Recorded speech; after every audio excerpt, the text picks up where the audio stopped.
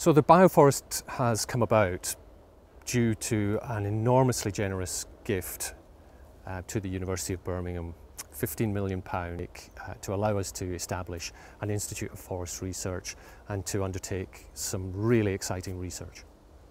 The unique aspect of the experimental facility that we are planning to build is based on an experimental technique called FACE for short, which stands for Free air carbon dioxide enrichment. So it's got a silent D in it in the acronym. And what that means is that we find a way, a clever way, of exposing trees in a woodland setting like this to slightly increased carbon dioxide levels without changing anything else.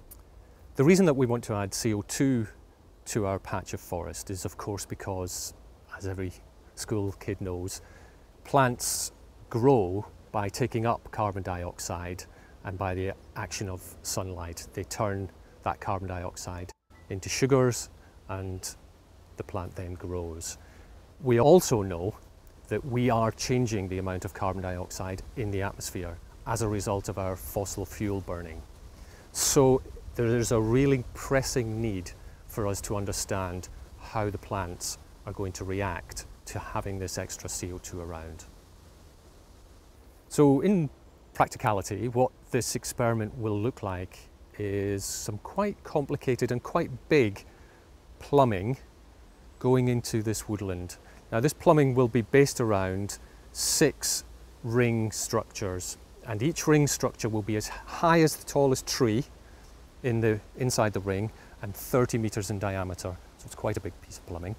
And inside the ring, we will be taking very careful wind measurements and pumping air with our extra carbon dioxide in it out in such a way that it goes into the ring and not out the back end of the ring.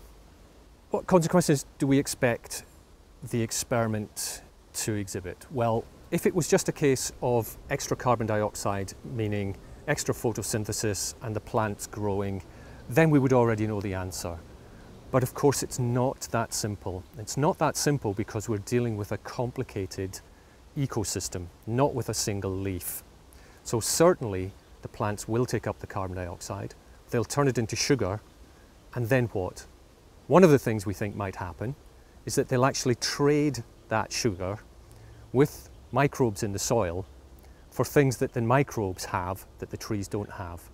And that trading will determine where the carbon ends up and whether the carbon actually ends up being stored in the ground or in the trees. This is the climate experiment that I personally have been dreaming of, that my colleagues in the University of Birmingham have been longing for, and actually that a whole network of researchers right across the globe have been waiting to get their hands on. So we are in a tremendously privileged position why does everyone care so much? Well, it's because to understand the push that we are giving the earth due to our fossil fuel burning, we absolutely have to understand how forest ecosystems will respond to increased carbon dioxide. If we get that calculation slightly wrong, then our projections of what future climate will look like, what, our, what world we will have to inhabit, will be quite substantially wrong.